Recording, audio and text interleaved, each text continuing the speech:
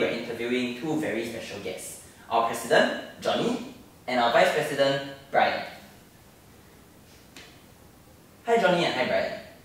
Thanks for coming down today. Um, has the school year been kind to you guys so far? Alright. So actually I think the school year has been going decently well for me so far. I mean besides the rather hectic campaigning season when I actually had a lot of stuff to do and even after the campaign uh, uh, campaign season, right now I'll be going to about doing a lot of things that most presidents do such as writing speeches, preparing for events. So I'll say that I guess it has been okay. I think for me as well, like um, as we all know, Sec 4 is not an easy year for most Hwa students. Um, for me, I'm currently, um, I have my plate full with things like my CCA debates. Um, we have an upcoming competition next week. Furthermore, on top of that, I'm also working on an SL project, and that's taken up a bulk of my time. So I guess um, it's going to be quite hard, juggling both council as well as our respective commitments. But I think with the help of the rest of the student population, as well as the 45th HSC, we can definitely make it work. Okay guys, let's talk a bit let's talk a bit about the campaign. Did you guys expect the elections to turn out the way it did? Mm, okay, I guess I'll go first. Um, well, I'll say that it has been a pretty close election, I would say. Mm, throughout the course of campaign, I actually had many different times where I think whether I was going to win or not. So I guess from the beginning, ever since I conceptualized my idea of having an online portal and cashless payment system, I thought these ideas would be going to be pretty well received by the student population. So I was I could say I was a bit confident about my chances. And I guess the next turning point for my thoughts actually after I created my social media page. I created first a Facebook page, and then after a week, I found out that Bryan has already created his also. And I just had to go to Bryan's page, look at his follower count, and I was, and then I was like, oh no, I think I think my chances are like none. yeah, yeah, it was, it was quite sad. But I think after that, I also created my own Instagram page, and it then moved on to like the first time I go on stage for the uh, presentations, and I felt that the response to my ideas were like quite well received, and most people seemed quite happy, they were quite engaged, and I thought, hmm, maybe maybe I didn't have a chance after. But then when Bryan went up, it seems that response was also quite well for him. So it became as a as a um, campaign went on, I think it became really really close. So by the end of it, I also wasn't very sure who was going to win. I think it was a 50-50 chance. And when in the end it turns out the vote was for me, yeah, I guess I was quite pleasantly surprised. I think for me, um, when I first signed up to run as for, uh, for, the, for, the, for the post of the 45th High School Council President, I really knew that there was going to be a chance that I would lose, and I was really mentally prepared for that. I was, um, whatever Johnny has said is completely true. I think that the campaigning was really um, intense and competitive.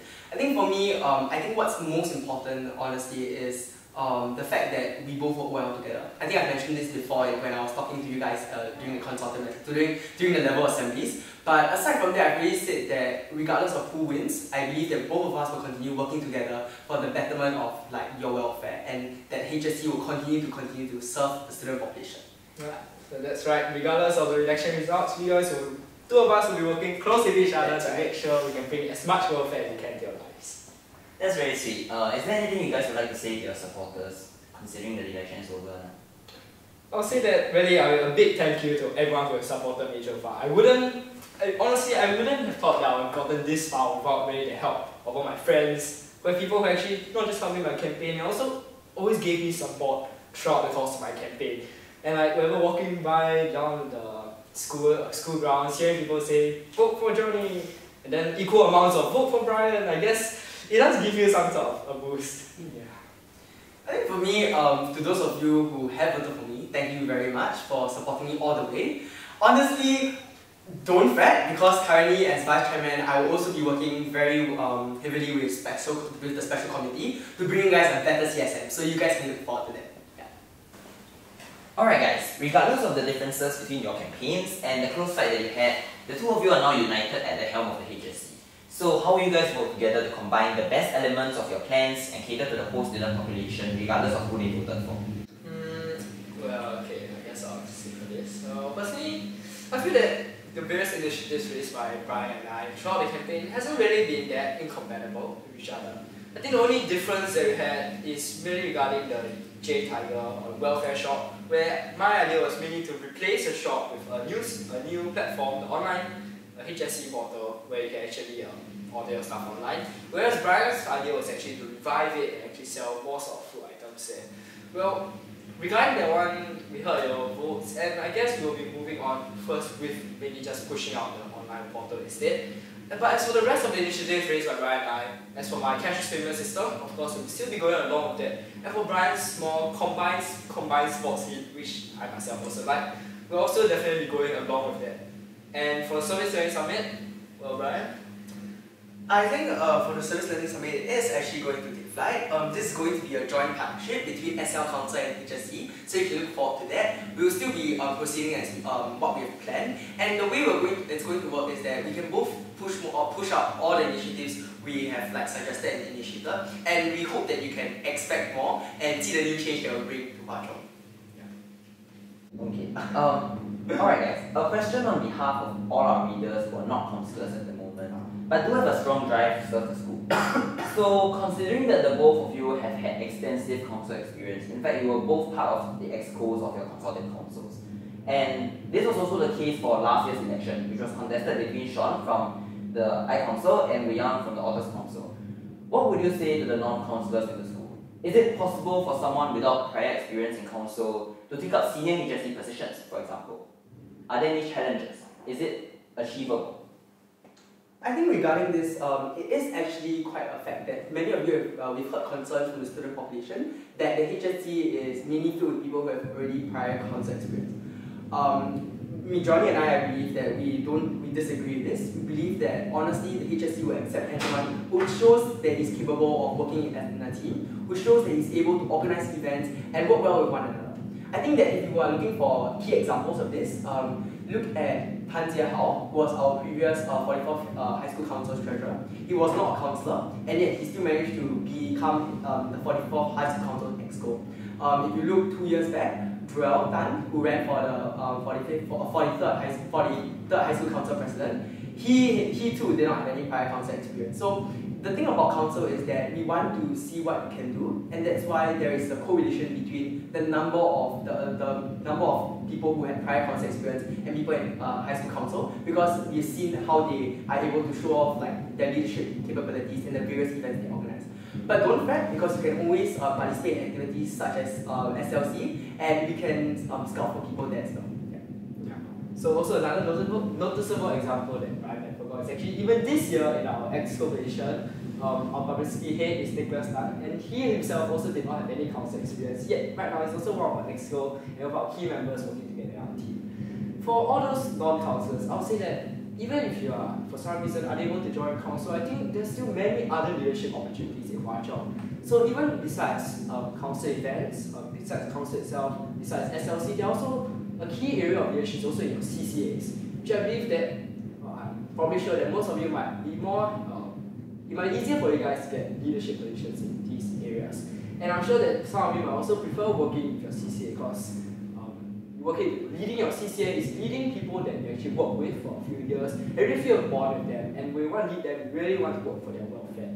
So CCA is actually another one of the areas where you can actually develop your own leadership skills and powers.